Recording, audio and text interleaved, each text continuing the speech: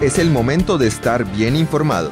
Estos son los acontecimientos más importantes de la UPB. Informativo UPB. Bienvenidos. Ahora, la noticia del día en la UPB.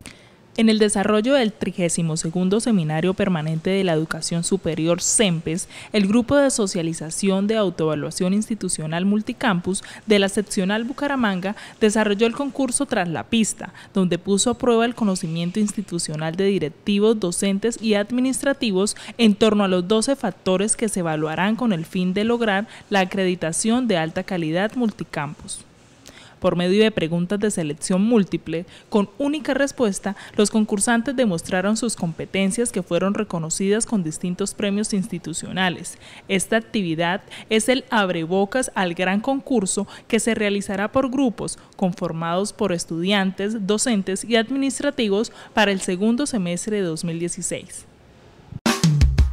Seguimos con la actualidad en el informativo UPB. Inició el 30 Seminario Permanente de Educación Superior, CEMPES, el cual tendrá lugar este 13 y 14 de junio en el Auditorio Juan Pablo II del Campus Universitario de la UPB.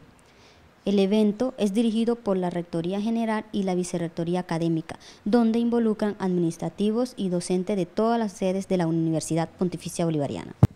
El objetivo del seminario es articular los distintos procesos permanentes de educación superior que desarrollan las distintas sedes de la Universidad Pontificia Bolivariana a nivel nacional.